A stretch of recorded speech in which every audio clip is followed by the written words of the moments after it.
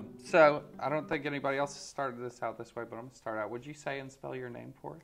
Say and spell my, that's Uh-huh. funny. Say and spell my name. Um, Danielle Moroux, Mm-hmm. spelled D A N I E L L E, but it's pronounced Danielle. Okay. Last name Moroux, Mm-hmm. M O R O U X. Cool. Now, there's a different spelling, I mean, different pronunciation of my last name. Uh, in Louisiana, they say Morrow, but where I come, where, where I'm accustomed to, I say Moreau. So, Moreau. Oh, and and where where do you come from that you're accustomed to the different namesake? uh, well, I, I kind of, I made it, I didn't make it up, but I decided it rhymes so much better, Danielle Marie Moroux. Huh. So I didn't want it to, like, it flowed much better. And, and I never heard Morrow until Right. I saw it phonetically spelled. And then Okay. I went, wait a minute, I've been mispronouncing my last name all these years. and I decided, well, I, I'm correct, so. However else they pronounce it, that's their. Well, right, it's your name, so it's exactly, it's choice. my name, so it's Danielle Marie Moroux. Uh, Danielle, uh, if we can go back in time a little bit, okay. uh, where did you grow up? Well, I grew up here. And well, in well Lafayette. let me explain. I was born in Arkansas on an, on an army base, Fort Chaffee Army Base. My dad was in the army for like 25 years, retired. But um, I mean, in, for 25 years. So we all grew up on different army bases around the country. My little brother was even born in Germany. So, but we grew up basically, we moved back after my dad retired. We were there when they were building the Berlin Wall. And we moved back to Louisiana after that. And we built a house in Duson, Louisiana. so that's where I grew up, on my grandparents' farm in that area. And I went to school. Like it's so funny. Everywhere around here says, "Where did you go to high school?" I hadn't heard that question in like you know 50 years, and I'm like, okay, got to remember back. But uh, it's funny.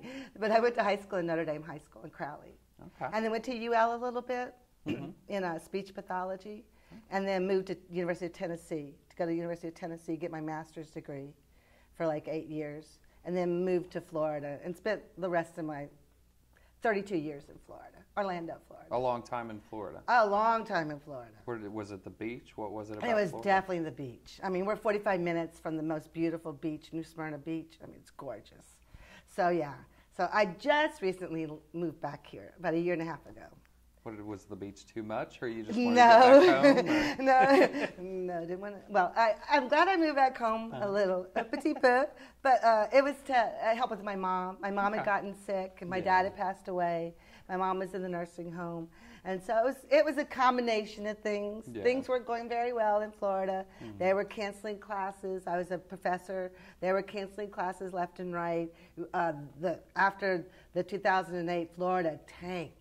You couldn't find anything in Florida. So I, I thought, well, maybe it would be good to come home. So I moved home, and uh, and now I'm here. So you're here. Making So, best of it. so what's what's your favorite thing about this area? About home? wow, you know that's a good question because I'm starting to find out that Lafayette got cool.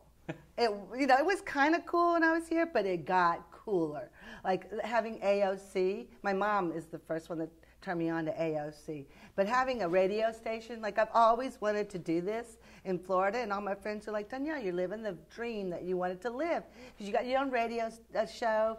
You've got, you know, I'm work with Teresa, and well, Special Tea, and um, What's and- that show called? uh, the show, uh, Morning Coffee with uh, with Special Tea and Danielle Marie. That's the name of the uh, show. And so I'm kind of living a creative dream that I've always wanted to live. And, uh, and it's helping me. I'm writing a book. I started a book in, in Florida, and so I'm, uh, I, it's about Louisiana. So it's kind of nice to come here and remember some of the stories and remember some of the uh, little nuances of the French sayings and, and be able to put them in the book and stuff. So yeah, um, I, I think Lafayette got so creative while I was gone, and it is. I tell my friends, I call my friends in Florida. They're like, it sounds like just a playground for kids. I mean, just there's so much to do here, and it's so inexpensive that I was like, wow. I, I guess you know it's a good place for me to be right now. So that's why I like it. Uh, what was it? You said uh, Duson was where you like grew Well, up. grew up, yeah. Was it? Uh, you had mentioned a farm. Did you grew up on the farm? Oh yeah, my um, my dad was given two and a half acres of land on like this big dairy farm that my grandfather uh, uh, raised dairy cows, and so we um, we didn't have to work on the farm, but we grew up there, and so and that's why that's where from like seven years old to like eighteen, I lived on the farm. What was that like? What was it? You know, I really liked it. I I liked it. I guess I've played all my life because uh, because it was just another playground for me. Like I didn't have to work on the farm. Unfortunately, my cousins had to get up at four o'clock in the morning. They had to milk the cows twice a day. You know, I just got to go in and play. You know, I got to go play in the barn. I got to go play with the horses. I got to go play with the chickens. I mean, I helped my grandmother and stuff. You know, wash the clothes of the old the old washing machines that you had to ring. You know, with the wringer and stuff. But I never, you know, had that many chores per se. Maybe that's why I haven't grown up yet. oh well. um, you'd mentioned that your mom had first turned you on to AOC. Yeah. How did you first was was did you come down that day when your mom told you, or how did you first get involved in AOC? Well, my mom, I used to come visit, and my mom used to always say, "Oh, I, I um, read the newspaper in French on the radio or on TV," and I'm like, "What, mother? Oh, I, I, have to go read the newspaper." And so she would just say this. So I'd come, I'd be back, you know, back and forth. And one day I've turned on the on the television and I'm listening to her voice because they just showed the the news, you know, and she's reading the newspaper in French on the radio and television, and it's AOC. And I was like, Mom, how did you get involved in that? She goes, Oh, they just, I just wanted to do it, and I do it once a week, and I just come here, and I'm like, Well, that's kind of cool. And then I used to used to come back and used to turn on the television, and I used to see these guys. Remember these guys on the couch that had the tie dye T-shirts? They had this show that was just hysterical, and I used to tell my friends, "You got to watch this crazy show that's on this television." and and so it kept saying AOC. And then when I moved back here uh, recently, I met Ter- Teresa, Special T, and uh, at a progressive breakfast. And we just and she was losing a partner in the radio show. And i told her what i do and she said oh would you come and partner me with this radio show? And i said sure. So it's almost been a year now since we've been doing the radio show together which is kind of cool. There'll be a year maybe in march or april something like that Congratulations. yeah, yeah, I can't believe I've done something for a year, and, and I've we've had so much fun with it. I've enjoyed it. I really have. Well, tell us a little bit about the show. Describe it to us. The, um, the show is a combination of music, and uh, we're, we're, we bring in some of the arts. We bring in a lot of local music. We try to find, and we try to find music that's very uh, obscure, that people are just getting started. So we make sure that it is um, uh, copyrighted, you know, like we don't, we get their permission to play the music and stuff. Um, and it's people that we just run into. Like I've tried to bring in local artists, uh, local Cajun bands, because I'm interested in that. Uh, Specialty put, uh, finds people from Korea, people from Texas. She finds them from all over, and she brings them in. And then some days we just play like popular music, and those, you know, can't be p- it, but we we play some popular music. And then we're starting a new format where we're um, bringing in uh, local artists and writers to, to read their poetry or slam. We just did uh, Poetic Soul did her show with us for her slam poetry, lyrically inclined, and then um, we're gonna. I'm starting to read some of my book in there. So yeah, it's we're doing we're changing it up a little bit this year, the format. And are you still thinking about doing your own show? You- Yeah, yes, I am. little I'm, bit? yeah, because the, the morning coffee is very uh, centered, and it's got a progressive flair, Hmm. and progressive meaning some of the issues and political issues, which is really good. We need to bring those out.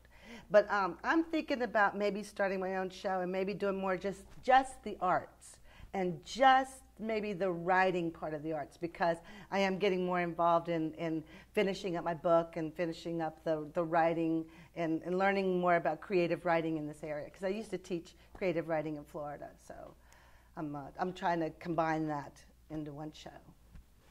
Um, would you like to give us any more info on your book, or is it still under no, wraps? uh, no, I'll give. I'll, uh, hey, I like to Yeah, talk tell about us it. yeah, book's about. well, the book, it's fiction, but uh, not really.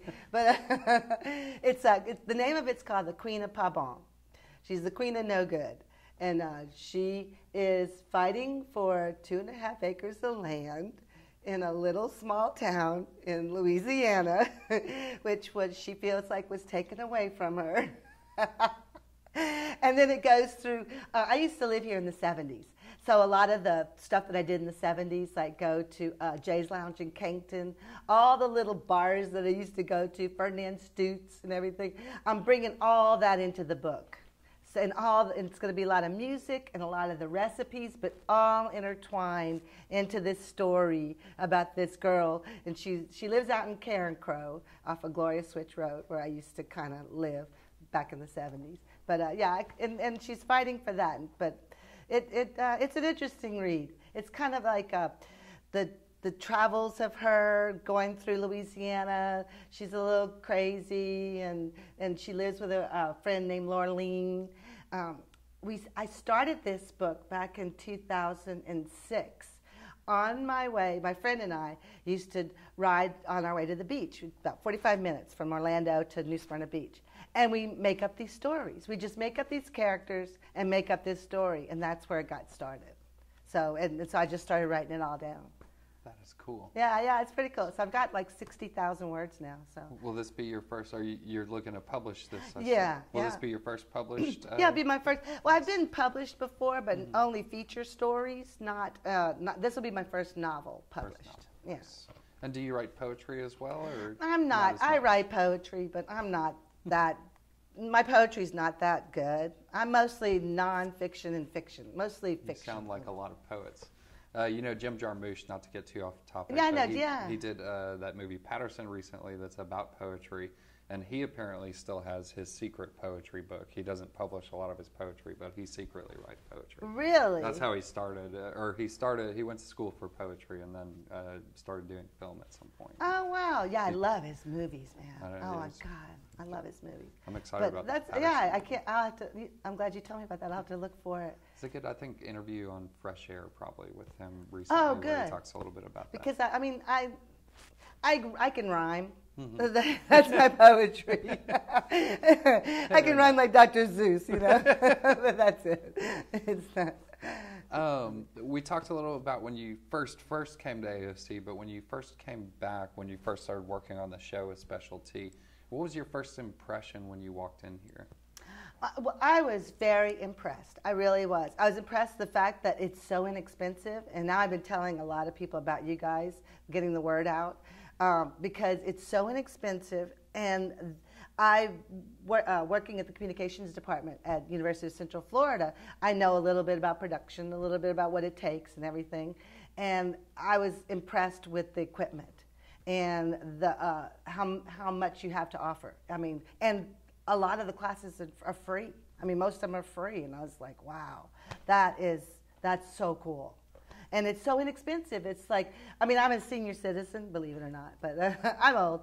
I know I don't look it, but uh, and it's only like twenty five dollars a year. I mean, you can't beat it.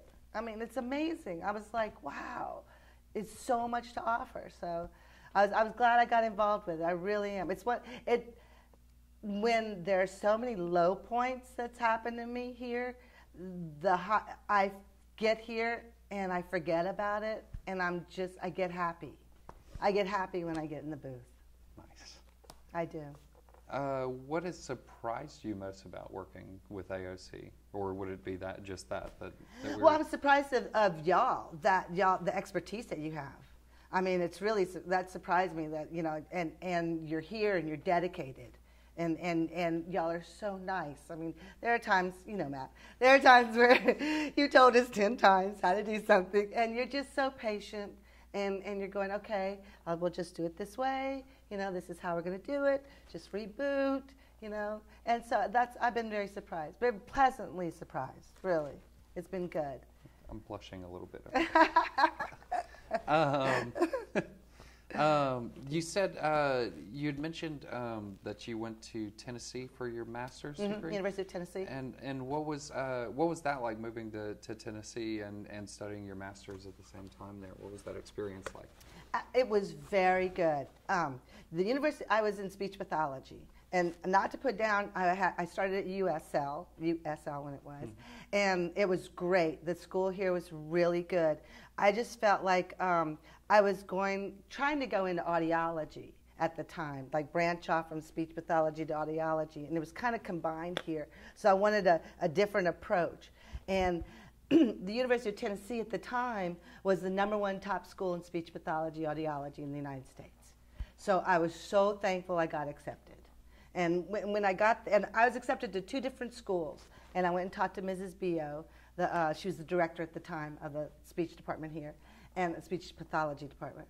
And, uh, and she said, What do you want to do? Do you want to go to the desert, or do you want to go to the mountains? And immediately I was like, Mountains. You know, nice clean water, the mountains, so different. And so that's why I chose University of Tennessee, and I loved it. And I got a totally different experience there.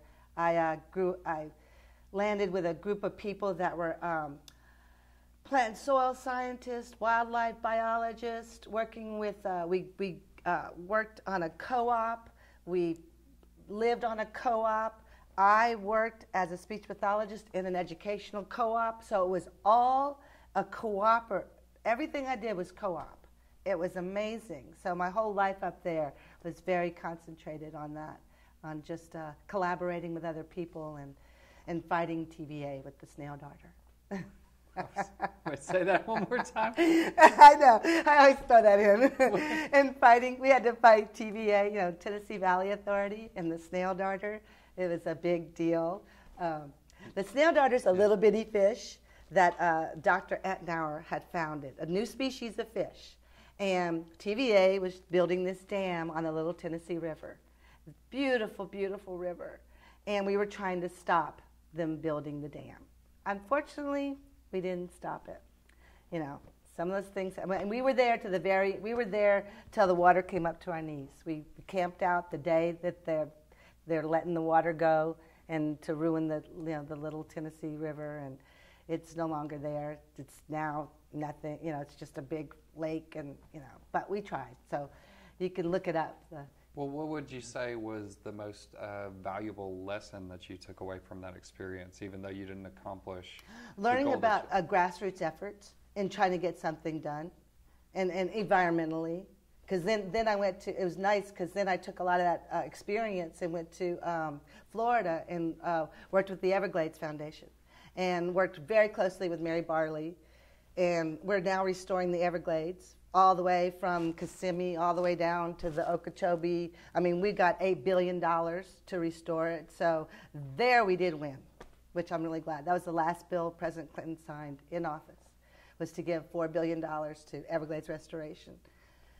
So I've been an environmentalist, you know, all my life kind of thing. And uh, so I took a lot of that effort and put it into that, working with her. And, uh, and now coming back here, I'm working with the Sierra Club and, you know, the I-49 connector and all that. So I'm taking all that experience and bringing it back home.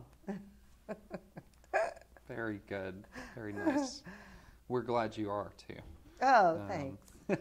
um, what would um, just switching gears a little bit if if you had to pick a dream project to work on uh, creatively, what would your dream project be if you're not already working on it? Well, mm, the, the book. I really want to finish the book. That's my dream. It's, it's been in the back of my head for 15 years to do a book, and I just didn't know what to do it on. And I would tell people the story of my dad, and they go, "Oh, you got to write a book." And I go, "Well, it's not. It wasn't enough." But then a lot of other things started happening in my life that could enter in that that part of my dad's life could be part of the book and part of my mom's growing up and being a share you know, on, a sharecropper's land you know. So it's now going to be a culmination of a lot of that. So i really i really want to finish. That would be my dream is to publish the book. What kind of steps are you taking now to, uh, I get, or what what's changed about your work process now that makes it different from the previous like 15 years you've been thinking about it? Um, now I've actually put pen to paper. Pen to paper. yeah, I finally did it, and I finally got, like I said, 60,000 words. Uh, you know, I've, I've got the outline already done. I've got the, I've got the beginning and the end, and now I'm just, and some in the middle done, and now I'm just putting the stories and putting the thread together to weave it together. And uh, there's a workshop this weekend um, at the ACA that's going to be Tell Your Story workshop. So I'm gonna I'm gonna do that workshop. I haven't done as many workshops as I used to in Florida. I used to go to writing groups all the time, and every prompt I would write about the story. I, I'd concentrated on it for the last four years in Florida, and I didn't hear, and now I'm getting back into that to really concentrate on it. And and my process, I don't have a process. I don't write every day, so I can't say I'm really a writer. You know, I'm not one of those that has, to, I, am not going to sit there and force myself to look at a screen and make something happen. It, when it comes to me, I write it down. If it comes to me while I'm driving, I'll, I'll pull off and write it down. If I'm in the shower, I get out, write it down. I'm not going to be one to force it. I'm just not, because it won't be fun anymore. You just when the inspiration when it comes, comes, it comes. You and you address it at that time. Yep, and I have to. That's you know, it's like I can't let it it's like pulling it out of the air. Mm-hmm. Once it goes, you can't get it back. So I got to catch it when it happens. And, and that's what I've been doing. That's, that's, so I've got lots of napkins in my purse. lots of bank things, bank statements. I got writing all over it. I should pay the bills. Oh, well, you may have answered this with working on your book project, but what are you looking forward to most in 2017? Wow. What am I looking most to in 20? To probably get a little happier and to be more at peace with living in Lafayette. I don't think I ever was much at peace. That's why I moved away for so long.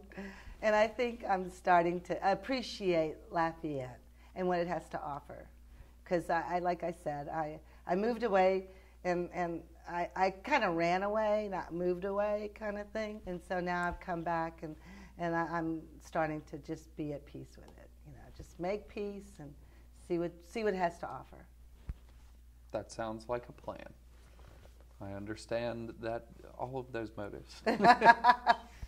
and have some fun. Yeah. I love dancing now. You know, when I was in college, we used to dance, but we didn't like dance a lot with couples and stuff. There wasn't a lot. I mean, there was guys to dance with, but I mean, everybody danced with everybody. But here, you know, it's like you have to, you know, you pair off with, you know, a guy. Like you stand in line like the old times, and the guy comes up to you and asks you to dance. I mean, that's so different to me. Where, just, where's your favorite place to go dance? Um, Vermilionville's a good place. I like Vermilionville. And um, the Blue Moon's a good place to go dancing. I like that. And uh, there was another place, the um, Joie de Vie in uh, Breaux Bridge. Oh. That's a really nice place to go dancing. Yeah. So yeah, done, that, has been fun. It has been. That, I've enjoyed that. It's uh, it's been that's been another really highlight here. I understand there's some pretty like famous or infamous uh, dancers in the in the dancing circuit. Yeah. Do you have a favorite uh, infamous dancer in the circuit? Uh, no. No. you don't want to pick I favorites. did, but no, we don't want to pick favorites. I did, but not anymore. Fair enough. we won't mention names. no. Um, well, what would what would be uh, what artists would be on your uh, your best music playlist? What artists would we find? Wow, local artists? A local artist, national, whoever. What what songs or artists would be on that on your favorite playlist of music? What I've been what I've been listening to now in my car. Mm-hmm. Uh, that's that's really. I, I, mean, I have a lot of favorites. I'm very eclectic. I've been listening to a lot of uh, actually a bossa nova music lately, mm-hmm. like Brazil music from Brazil, music from Spain. I've been listening to that. I don't I don't really have an artist there that I can pinpoint. Um, here locally, I really like Feufollet. I like them a lot. I like. Um, uh, well, I do. Uh, my nephew Rex Moroux. He's an artist here. He's a musician. I really like his stuff. He's, he's really good. I realized. Yeah, Rex Moroux. Yeah, that's my uh, I nephew. with Mimi. Oh yeah, that's was, yeah. that's my niece. Yeah. Yeah, that's my godchild. Mimi's Alright. my godchild. Well, cool. Now we know. Now, now it's More- all connected. more connected I know, more thought. of the dots connecting. yeah, I'm one of those morons. See, they pronounce it different. They uh, slightly. We all know what what you're talking about, though. I know. Are you related to? Um, when you were young, did you have a, a favorite book or a favorite movie or movie star or musician? I were you used to- obsessed with anybody? I used to le- read a lot of Carlos Castanedas when I was in high school. Uh, I'm not familiar. The, um, he, he would do a lot of books on uh, animal spirits and uh, shape shifting and just really interesting spiritual ideals. That's what got me started with a lot of that. And uh, Tom Robbins, Jitterbug Perfume, uh, Still Life with Woodpecker. Oh my God, the, uh, Cowgirl Gets the Blues. I mean, all of those, all of his books were one of my favorites. Totally one of my favorites. He's, Vonnegut was one of my favorites. Oh yeah, yeah, Vonnegut. Went right hand in hand with Vonnegut. Yeah. Yeah. and um, and Ca- Kerouac because I got to go to the Jack Kerouac house. I actually did. Uh, I got to go to a workshop at the Jack Kerouac house in College Park, Florida. That's where his house is, and so I got more familiar with his work when I got to uh, do workshops there. What was that experience like? What kind of workshops? It was. Um, they have different artists come in. You can you could be an artist in residence at the Kerouac House, and uh, the artists would come in, and they would have their responsibility. They could they could stay for free for six weeks to work on their works, whatever works they had, and they had to do something in the community. They either they so some of them did writing workshops. Some of them did uh, presentations. Some of them did. Um, they would bring in other artists in the community. So I, I got uh, I got to go do some uh, workshops there, which was so cool to be in presence of Jack Kerouac. You know, it's like wow, because his ghost is really there. Because all his books are there. I mean, you could just feel him there. It was cool. That was so cool. Yeah, yeah. You could tell I miss Florida a little bit. just, just a little bit. I miss it, and I never even lived there. well, the beach is so beautiful. Uh, before you went down the speech pathology path, I know that that was kind of your first That was my professional fir- yeah. venture, right? Um, what did you want to be when you grew up before that? What was your first uh, aspiration? Oh God. Um, well, I used to play teacher a lot when I was little. So I think I think I always kind of knew I was going to be a teacher, and so with that, and I used to play um, used to play teacher and priest. For some reason, I don't know why, but I used to love to play. You know, pre- yeah. Uh, not that I knew I was going to be a priest or anything. You know, I knew I couldn't do that, but uh, and I wasn't going to be a nun. Uh, that's out of the question. But but I think teacher, Teacher. you know, or a pirate. That seems fitting. I think that's right. Yeah, yeah. Because I've been a teacher now. I mean, I've been a teacher trainer all my life, pretty much. Have you ever gotten to be a pirate? No, but I, well, actually, I did. Um, in Florida, we have, uh, you know, that Pirates Day, Talk Like a Pirate Day, September 19th, I think it is. Yeah. So I got to be a pirate. And in um, at uh, Mardi Gras at Universal Studios, I got in a pirate outfit. So yes, I did get to be a pirate. Very well done. I met one one tree. Who, who were your uh, Who were your heroes when you were a child? Wow. You know, my heroes were my, my dad and my brother. My dad being, um, my dad is a very authoritative person, but a very kind person. And he taught me that you don't neglect anybody and you make sure that the underdog is taken care of. And one, uh, just he used to always pick up hitchhikers. We used to always be so afraid, you know, something would happen to him because he traveled a lot around here, delivering furniture. He used to work at Anderson's Wholesale, and I used to deliver furniture, and he used to pick up hitchhikers all the time, especially if they had children. He was just so, you know, like he felt so sorry for them. But um, but he used to take me out of school sometimes, and uh, and I'd go with him on his little trips, and sometimes we on the side of the road, we'd pick up a snapping turtle, we'd bring it home and cook it, and he showed me how to cook the whole thing. So my dad has been a really big influence and, and a big hero in my life. And my brother, my older brother, who passed away a long time ago, he, he was like that too. He was the for the underdog, and and and just I remember one time I was nine years old and um, living out on the farm. We lived next to the railroad tracks, and the hobos would always come to the house. And I remember one day I happened to open the door, and this he scared me. The hobo scared me, and my brother immediately said, "Danielle, what are you doing?" Because I slammed the door, and unfortunately, in the guy's face. My brother went and got a sandwich, got milk and some money, and ran to the tracks and gave him. And he taught me, don't ever, you know, not give back. And so, yeah, those, yeah, those two people are big heroes of mine. Still. That's some quality heroes. Yeah, I know, I know, and I still remember a lot of what they taught me, and I tried. I try to live up to that as best I can. with a little humor. That's good. Uh, it seems like you're honoring their memory very well. Oh, thank you. Thanks, Matt. Um, okay, here's a fun one. Uh, if you could have dinner with uh, any number between one and five famous people from history, who would they be? wow, if I could have dinner? hmm Wow. Five famous people from history Mhm. in, in the living. Uh, Any one to five, anywhere from one to to five, five. people. Yeah. oh, okay. If you have five in mind, that's fine. If not, Well, Tom Robbins would be one. I'd invite him. Um, Jack Kerouac, I'd invite him. Not all his other beatnik friends, but just him, because they're a little cuckoo. get out of here, Ginsberg. no, no, I'm not big on Allen Ginsberg. Not that he's not, you know, he's okay, but uh, just Jack.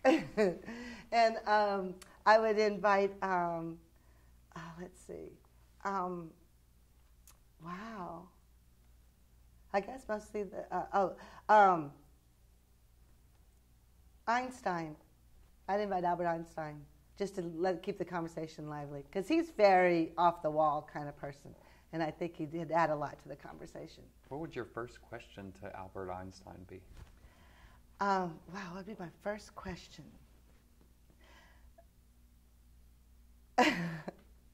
um, my first. How did you? How did he come up with the theory of relativity? I mean, what made him think like that? Like, where?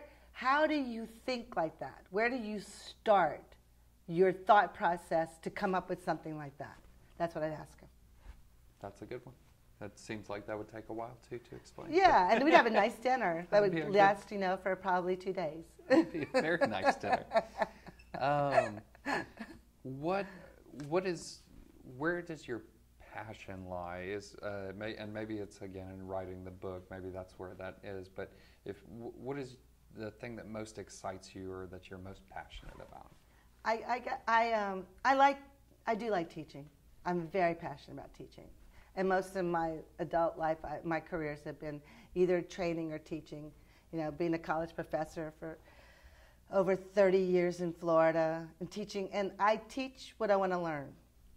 So right now I'm doing some training in emotional intelligence because I feel like I need to learn a little bit about it. So I'm teaching it. So that's been my philosophy all my life. Teach what I want to learn. And what's the best part to you about teaching? If you had to like narrow it down to a best part. Um, for me, I don't have to be pigeonholed into one subject. I, I make sure I'm not pigeonholed into one subject. When people say, no, no, no, you can only teach this, I go, oh no, I don't have to just teach this. I can teach this and this and this and this, and I'll prove it to you. And that's what it is. I, I don't like to be, you know, they, they try to pigeonhole me in, in uh, college. Oh, no, you have to get a college of education degree. I go, no, no, no. I can get a liberal arts degree and still teach in the school system, and I did. So, yeah, if they try to pigeonhole me into something, I'll prove to them I- they're wrong. and that's what excites me. Um, what was out of out of all the classes that you've taught? Do you, could you pick a favorite? Is there a favorite class that, or a favorite subject that you've taught? Well, the um, creative writing is it was so much fun. I taught it at Rollins College. It's it's in Winter Park, Florida, and uh, that was one of the last classes I taught in Florida. That was so much fun. Uh, public speaking was a lot of fun because it wasn't just me. I got to hear so many cool stories, other people's stories, experiences. I had people from all over the world because I taught first at the community college. So I heard so many just absolute different stories. Diff- I met people that were. I met the juggling. Um, the one, this guy won a juggling contest. the most famous juggler, and like he won many contests in the United States. And I would have never known that if I would have been in just a class where I just lectured. You know, so I do teach classes that are very creative. And then teaching the web design class, I made sure that they created a website that was for, it had to be for a specific company, or they had to make up a company, or it had to be what they wanted to do it in. I didn't give them the topic. They, so I try to give them as much freedom. So I can't say it's one individual one, one where, they, where the students have a lot of freedom. That's where I, that's where I, I shine because I'm more of a facilitator. And there, the class is a collaboration. I don't like it to be just me. I understand that. I think that's also my teaching style. Yeah, yeah, and it's it's so much more fun. It is. And you know, it's Yeah. more creative. Yeah, and it, uh, it's empowering. I find to which is the real point of that exercise for me anyway. For that exercise is to to let them know they have the power to do what I'm teaching them to do. Right. Like, introduced them, I introduced them to Photoshop. They would have never known Photoshop. You know, mm-hmm. PR advertising majors would have never known these things if they wouldn't have been introduced to it. Right. So, and some of them changed, unfortunately, I mean, fortunately for them, they changed careers. You know, they said, I want to be a graphic designer or I want to be this, you know? Mm-hmm. So it's kind of cool, you know, to help them do that. That Find, is- find their voice instead of just me. All right. I know you've described yourself in more than this now, but can you describe yourself in three words? Three words. Oh my God. Three words. Funny, creative, and sincere. I think that's right as rain. Um, let's see. We're almost done. Just a few more questions. Sure. Um, This has been fun. this is going to be a good answer from you, I think. What is your spirit animal and why? Actually, um, the animals that have been following me around are owls for some reason. I've been very attracted to owls. And in Florida, I had these two little owls that would come and visit me like every evening. So, and, and I think owls to me represent wisdom. So I'm, you know, maybe I'm trying to get in touch with more wisdom in the world. I mean, uh, in the spirit world, you know, trying to be a little wiser than I want to be a little. I want to be more wiser and I, and less. I'd rather be wiser than smarter. And what is what's that distinction for you? The wiser and smarter. Wiser, you'll make better decisions. oh, my family would say that. But uh, smarter, you just think you know everything. Wiser, you don't know anything. so that's the big distinction in my book. Sounds like an apt distinction to me. it's been the little, those little, they were so cute. I called them Barney and Alice. They would come visit me every evening. They were just so cute. Little small Li- ones. little eastern screech owls. Yeah. We've got some giant owls that are in our yard making a big ruckus every morning. Barn owls? Are they barred? They probably, if I had to guess, it's out in St. Martinville, and I know they're well. From the sound of them, they're very large, um, and I haven't been able to spot them while they're hooting, but they're very loud. They're like almost alarmingly loud. oh. Like, am I the prey? Try to tell you something, Matt. Right? Um, okay, so quick, you have a thousand dollars to spend. What are you doing? I'm going to Florida. I'm going to the beach, man. I got to get to the beach. That'll keep you there for a while too, huh? That's Oh, nice. will keep me for uh, two weeks. nice. Yeah, two weeks. Cool. I could use that. Um, all right, let me see if there's one that I'm going to regret missing if I miss it. Um, these are good questions. A lot of these. they are good questions. All right, let's just do this one real quick. Um, if you were a season, which one would you be and why? Oh, wow. A season. Summer's too hot. Winter's too cold. The fall is like mm, spring. I'd be spring Spring. because everything starts anew in the spring. Everything's fresh. Yeah. And then flowers start blooming. Spring. Spring. Uh, well, we thank you so much for, for coming down here today. Is there anything else you want to say to us while camera's rolling? Oh, I just want to thank you. I mean, this has been fun. I just said thank you. It's kind of like gotten me back to liking Lafayette again. So thanks. I think I needed this shot in the arm. and I'm glad you were my interviewer. Always I really glad am. to be your interviewer. Thanks, thanks, Thank Matt. Thank you very much Thank for coming you. down. Thanks. Appreciate it. This was fun. Uh, thanks, guys.